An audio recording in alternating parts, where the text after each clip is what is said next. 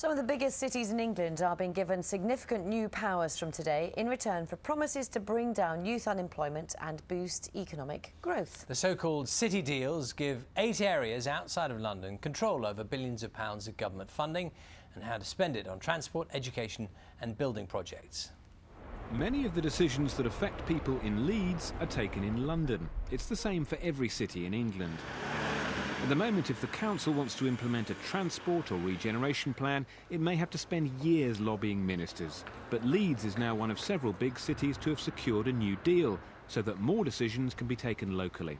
Well, absolutely delighted because local authorities have been asking for these powers for a very long time. And today is a big historical breakthrough for all of us who want to do far more for our economy than we've been allowed to do in the past. Similar deals have been agreed with Birmingham, Bristol, Nottingham, Newcastle and Sheffield. Manchester and Liverpool have already signed agreements. The cities are being given greater power over things like transport and regeneration, but in return they've had to make promises on jobs and economic growth. Leeds, for instance, has made a commitment to get everyone into education, training or employment. Some may question whether these city deals are substantial enough to alter the balance of power with London. Labour says the announcements are a victory for local government, but wants ministers to go much further and offer similar deals to councils across England. Mike Sergeant, BBC News.